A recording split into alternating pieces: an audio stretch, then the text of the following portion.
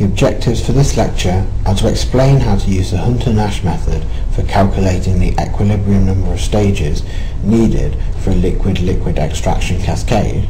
We can have an overall mass balance for our system, where the feed plus the solvent added to the system equals the total amount in our system, which must equal the total mass coming out in our final raffinate product and our final extract product. We can also do this mass balance based on each individual component within our system.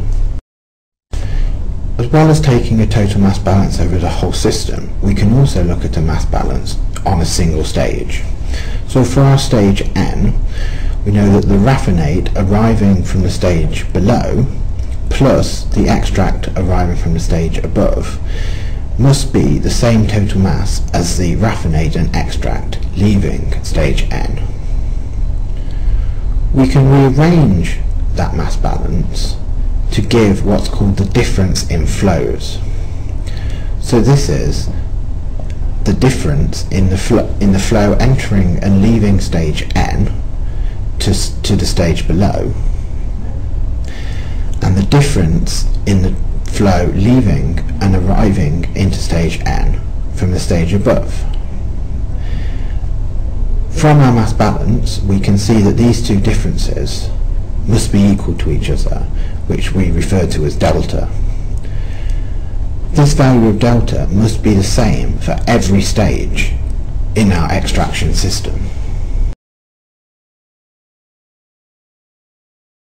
We can carry out this same mass balance process, but for each component in the system, and we can again do a general mass balance on stage n and then rearrange this to give the distance in each of the component flows between stage n and the stage above and the stage below.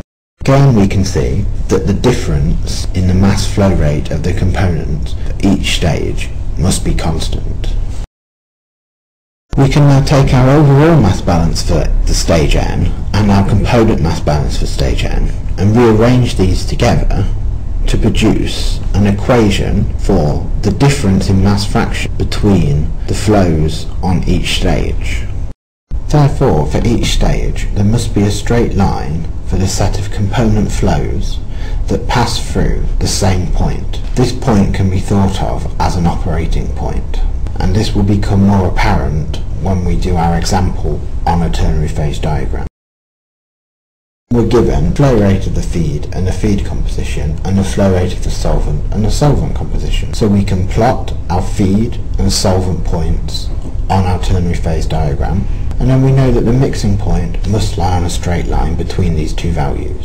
We can then calculate the mixing point either by taking a mass balance for each component or by using the lever arm rule and saying that the ratio between our feed flow rate to our solvent flow rate is equal to the length of the line between S and M to F and M. In our single stage example, our raffinate and extract products were limited by the equilibrium tie lines of the system. However, in a multi-stage process, because we have multiple stages and multiple equilibriums, we're free to pick a composition of our products. So in this case, we're going to pick that we only want 2.5% of our solute A in our raffinate product. So, from the knowledge that we only want 2.5% of solute A in the raffinate, we can plot our raffinate point on our ternary phase diagram. So we know that our raffinate product must be on the same side of the equilibrium curve as the feed and we know that the product must lie on the equilibrium curve. Now we have plotted this point, we can read off the other mass fractions of the components in the raffinate product. For a mass balance on the system, we know that the mixing point must lie on a straight line between our raffinate and extract product.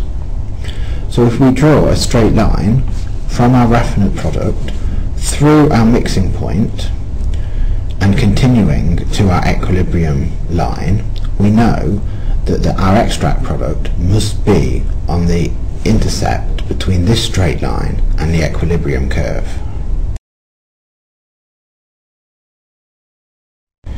Now we have found this point, we can again read off the composition of our extract product. Now we have the compositions for both the extract and the raffinate products. We can carry out a mass balance to calculate the flow rates of both the raffinate and extracts. Or we can use the lever arm rule because we know that the ratio between our extract and our raffinate must be given by the length of the line between the raffinate and the mixing point divided by the length of the line between our extract and mixing point.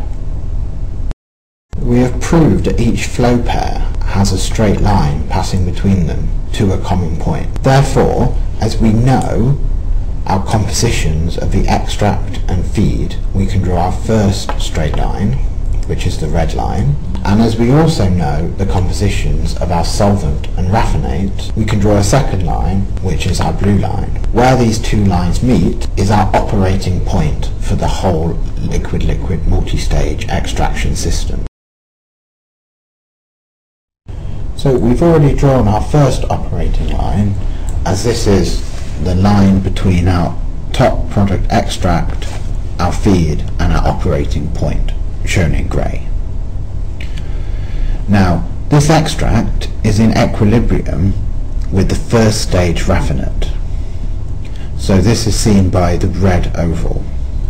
So what we can do is we can use our equilibrium tie lines to draw our equilibrium line between this extract and the raffinate.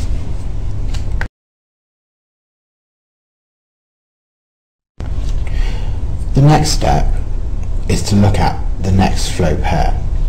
So our R1 and our second stage extract E2 are then the flow pair, so the blue oval.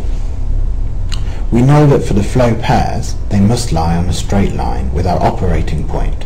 So if we draw a straight line between our operating point and our R1, we can then extend this to the other side of our equilibrium curve to get our E2 composition.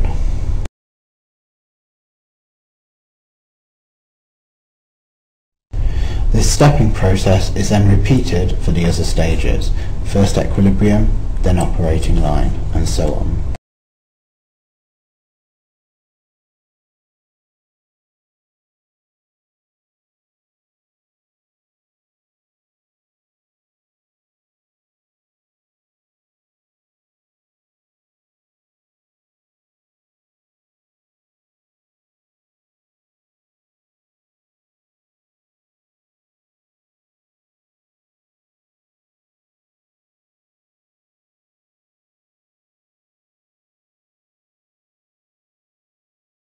This process, four equilibrium stages are needed to generate the required purity of the raffinate product.